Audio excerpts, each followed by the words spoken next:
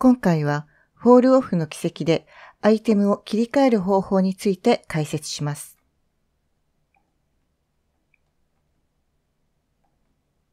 フォールオフの動きに合わせてアイテムの動きやチャンネルの値を連動させる方法についてはいろんな方法があり、その表現したいものやシーンの構成によって最適な方法は変わってきます。代表的な方法としては、フォールオフプローブがあり、それを使って面白い表現が可能ですが、今回はパーティクルを使う方法をご紹介していきます。フォールオフプローブについては日本語解説ビデオ、プローブフォールオフを用いたアニメーションのコントロールをご覧ください。まず、このサンプルシーンには小さいピンのモデルというのが一つ用意されています。こういった形の小さいピンが用意されています。これを細かく分割されたこういった板ポリゴン、このように細かく分割されている板ポリゴンをポイントソースとしてリプリケーターで配置しています。それがこの状態になります。こういった状態で配置されています。このピンを別のピンへと置き換えることで、サンプル動画のような表現を可能にします。こういったアイテムを置き換えているような、そういった表現というのを可能にします。正確には置き換えるというよりも、リプリケーターのプロットタイプ、原型となるアイテムに設定しているピンよりも、ほんの少し大きなピン。今はこのサイズのピンを配置しているんですが、それよりももう一回りだけ大きい、こういったピン、こちらを使った新たなリプリケーターで配置するという形になります。この新たなリプリケーターのポイントソースをフォールオフとパーティクルで作成していきます。ではまず、ポイントソース。こちらの細かく分割されているこの板ポリゴンですね。こちらからパーティクルを放射してみます。シーン内にあるメッシュの頂点からパーティクルを放射するにはソースエミッターを使います。ポイントソース、こちらを選択した状態でパーティクルのタブにあるソースエミッターですね。こちらを追加してみます。スケマティックビューの方で確認してみると、こちらがパーティクルシミュレーションとポイントソースの方に接続されているのがわかります。では、このデフォルトの状態でまずシミュレーションを行い、パーティクルを発生させてみましょう。わかりやすいように、このパーティクルシミュレーションのサイズ、こちら、サイズが0になっているのをちょっと大きめに設定して、シミュレーションをキャッシュしてみます。どうなるかというと、パーティクルがこうあちこちに飛び回っているのが確認できます。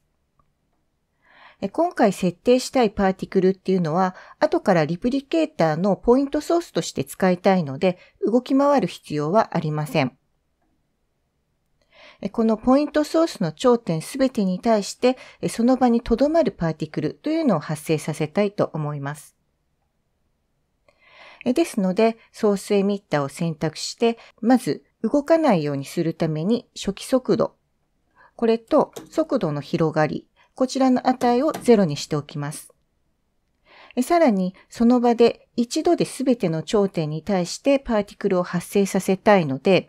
この放射モードですね。こちらをパルスにして、このパルスオプションをオンにしておきます。さらに、すべての頂点に対してパーティクルを発生させたいので、この放射レート、これをポイントソースですね。このポイントソースの頂点数と同じにする必要があります。ポイントソース選択して、統計のタブ、ここから頂点数確認してみると4225個になってますので、ソースエミッターの放射レート、ここにも4225という値を設定しておきます。シミュレーションして確認してみると、1フレーム目でドンとパーティクルが生成されているのがわかります。この状態だとですね、え、パーティクルは静止状態にあるんですが、このパーティクル、真下の方向へと落下させてみたいと思います。ポイントソース、これをほんの少し上へとずらしておきます。わかりやすいように、ちょっと今回大きめに 50mm の位置まで動かしてみようかと思います。さらに、真下の方向にパーティクルが動くように、フォースを設定します。パーティクルシミュレーション。こちらを選択したら、このパーティクルタブの下の方にあるフォースフォールオフのカテゴリーにある、こちらからリニアフォース、これを追加します。デフォルトではこのリニアフォースですね、上向きになってますので、こちら180度回転させて下向きになるように変更しておきます。この状態でもう一度シミュレーションして確認してみると、まっすぐとパーティクルが下へとこう落ちていってるのがわかるかと思います。ではここでフォールオフによってこの落下の動きを特定のパーティクルのみに限定するようにします。リニアフォース、こちらを選択した状態で、今度はラディアルフォールオフですね。こちらを追加してみます。この放射状のフォールオフ内部にある頂点に対して影響を及ぼすようにしたいので、まずフォールオフの大きさというのをちょっと調整しましょう。今のままだと大きすぎるようなので、まあ、適当に、そうですね、こんくらいの大きさにしておいて、このポイントソースの上を動き回るような動きをつけてみます。え移動ツールで、え例えば0フレーム目では、えここ、ショートカットキー S のキーで、えアニメーションのキーフレームを作ったら、え30フレームで、え例えばこちら、え60フレームで、こちら、え90フレームで、こちら、そして120フレームで、こちら。というように、え動く。アニメーションを設定しておきます。また、通常、ラディアルフォールオフの中っていうのは、え、グラディエントの状態で影響範囲の強さというのが設定されていますけれども、今回はこの球体の中に入っているのか入っていないのかというのをくっきりと切り替えたいと思いますので、ソリッドコアですね。この値を100%にしておきます。では、シミュレーションして結果を確認してみましょう。どうなるかというと、ラディアルフォールオフが通過した箇所のパーティクルのみが落下するようになったかと思います。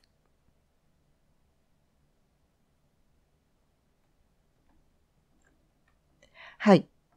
では、今度は落下したパーティクルが床に衝突して、衝突した時点で消滅するように設定してみます。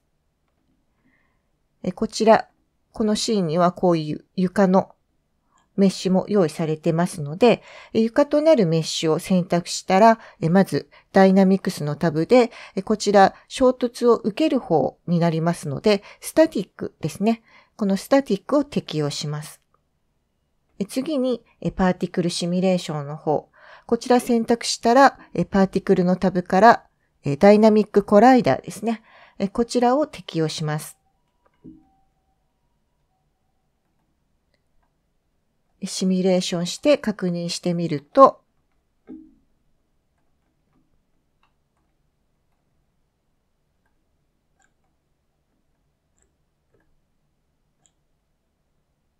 落下したパーティクルが床と衝突し、跳ね返って今度は真上に移動しているのがわかります。このような感じですね。これを跳ね返るのではなく、衝突した時点でパーティクルを消滅させたいといった場合には、パーティクルオペレーターを使用します。パーティクルシミュレーションを選択したら、パーティクルオペレーターですね。こちらを適用します。パーティクルオペレーターというのは、パーティクルの各情報を取得したり、さらに入力してくる情報によってパーティクルの挙動を変更するというものになります。今回まず必要となる情報というのは、パーティクルが衝突するタイミングです。このタイミングを取得するには、パーティクルオペレーター選択して、このプロパティのところから特性の追加、ここで特性で衝突イベント、リードオンリーですね。こちらを指定するか、もしくはこのパーティクルオペレーター、右クリックしてパーティクル特性の追加、ここから同じく衝突イベント、リードオンリーですね。こちらを追加します。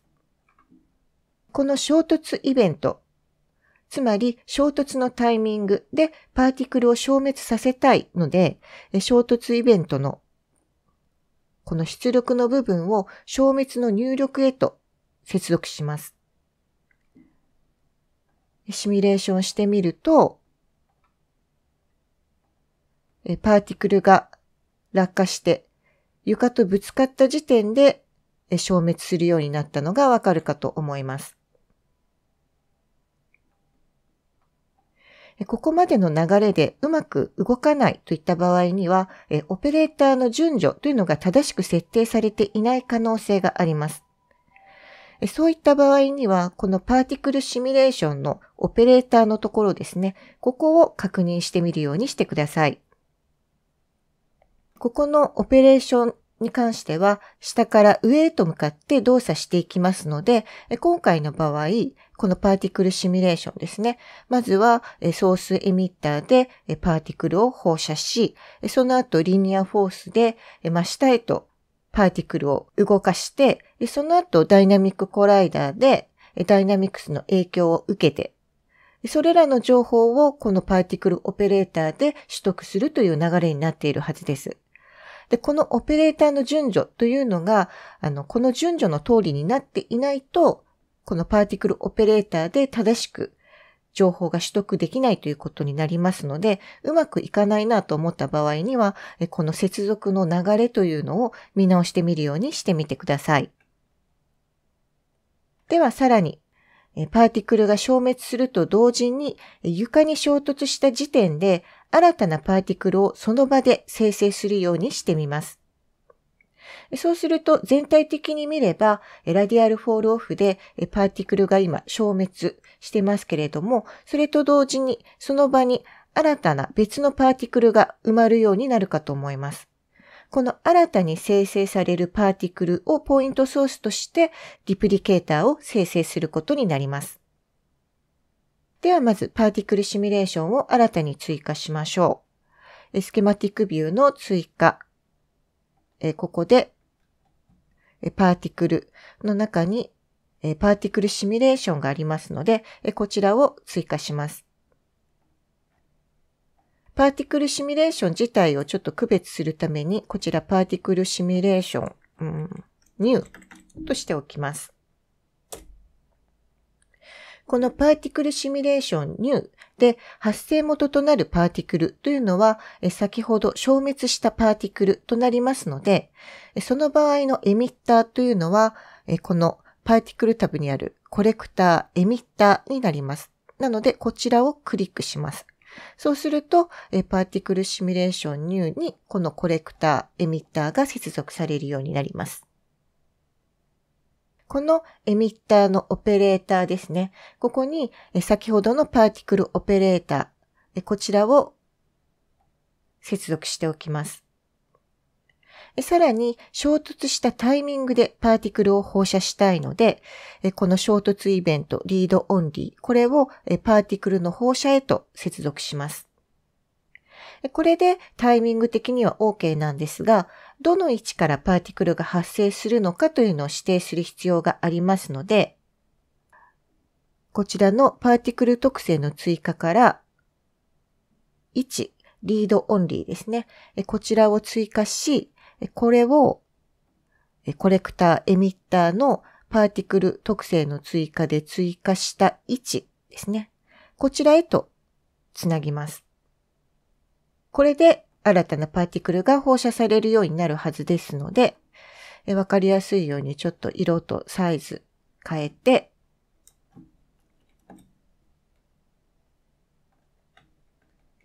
これでシミュレーションして確認してみましょう。そうすると、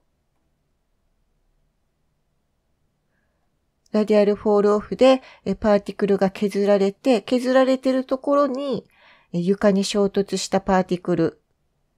の位置に新たなパーティクルが生成されるようになりました。今わかりやすいようにですね、ポイントソースの Y 軸の値ちょっと高めにしたので、これもっと低めに、まあ5ミリでも1ミリでもいいんですけど、えー、ちょっと位置を調整してもう一回見てみようと思います。そうすると、まあこんな感じで、ラディアルフォールオフでパーティクルがなくなったところに新たなパーティクルが生成するという、そういった形になっているのがわかるかと思います。では、この新たに生成されたパーティクルシミュレーションニューでリプリケーターを作ってみます。アイテム追加でリプリケーター。こちらもわかりやすいようにリプリケーターニューにしておきます。こちら原型となるアイテムは、一回り大きいピンの方。そしてポイントソースに先ほど新たに作ったパーティクルシミュレーションニューを設定しておきます。元のリプリケーターの方ですね。こちら、ポイントソースが今5ミリ程度上に上がってますので、原点ぴったりにするためにリプリケーターの方で高さの調整を行っておきます。そうすると、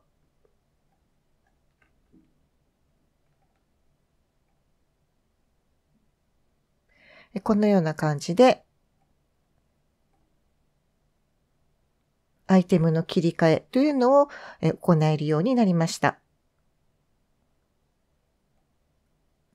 この方法のいいところというのは、ポイントソースにパーティクルを使用しているということで、パーティクルの特性を使用できるというところにあります。例えばパーティクルの場合、その寿命を設定することができますので、例えばこのパーティクルシミュレーションニュー、新たに生成される赤いパーティクルの方ですね。こちらのプロパティで寿命で除去、最大寿命を60とかにしておくと、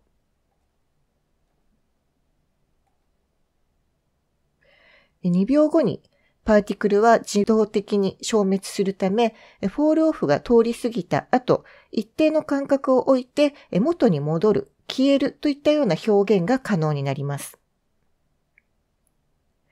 こういった属性を利用することで、例えば、通り過ぎた後にライトが消えるといったような表現も可能になりますので、例えば人感センサーなどといった表現も可能になってくるかと思います。